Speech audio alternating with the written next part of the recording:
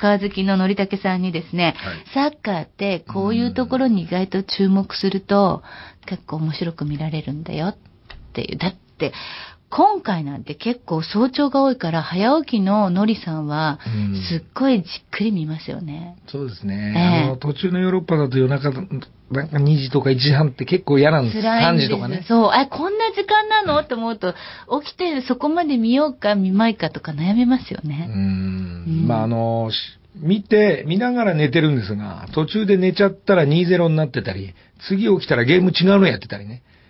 日本戦じゃない、楽しみだな、このゲームって言った時に、それが起きやすいんですね。名前わかんないな。16番誰だっけ？中だるみするから。夏ええ。どっちかってもいいやもう本当に。どうせ、どうせ強いのは8チームぐらいも決まってんだら、はーって寝ちゃう。まあそれ後からダイジェスト、まあもう一回早送りで点数のところだけもう全部チェックはしますか？ええ。毎年じゃなくて4年に1回は。えええええええ。あ、そうなんですね。そうですね。うんで、蓋開けてみると、まあ大体7割、8割ぐらい決勝ラウンド行くのは決まって、やっぱ同じチームですから。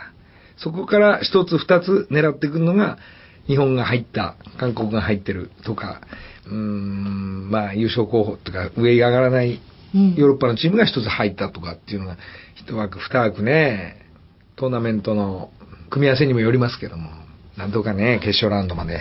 行ってほしいですけどね。のりさんが注目されている選手とかチームってあるんですか？全日本です。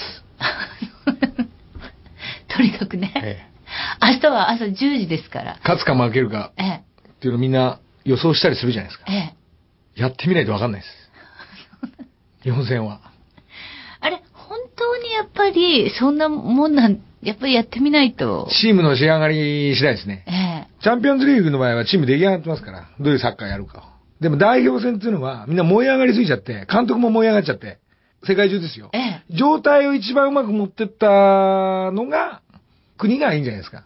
ああ。例えば、メッシがアルゼンチン戻りますよね。ええ。でもアルゼンチンにあの番長たちいっぱいいますから、ええお前ばっかお前手入れてもねなんて、こっち、こっちアルゼンチンでやってんだよ。こうなるわけですよ。やっぱり人間ですから。ええ。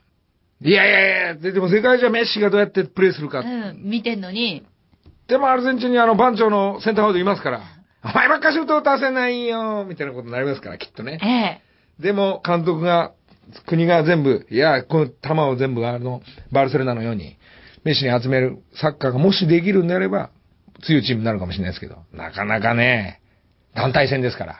そっか。代表戦っていうのはどこも盛り上がりすぎちゃうから、そうですよれがこう、うまく転ぶ方と転ばない方で何が起きるかよそのチームでよその国のポジションと全く代表の時は重なって違う時ありますから。うん。でエースばっかり揃いすぎてもうん、これはいかんってことですうね。ん。これが団体戦のね。妙ですね。そうです。番狂わせが起2きやすい。番手に石川ちゃんを持ってっていいのかと。それ卓球そうそうそう。初戦からぶっかっちゃった方がいいんじゃないか。待てよ、なんて。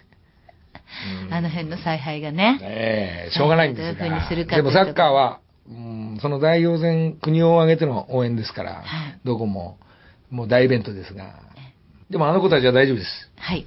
あの子たちは今回いいのはですねえ、え。もうマー君見ても、えー、に西堀君見ても、それこそ卓球選抜見ても、はい。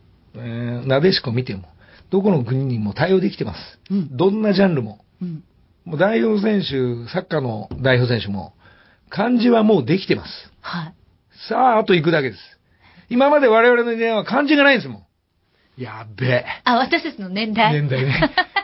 古く遡るとね、やっべえ。ヨーロッパやっべえ。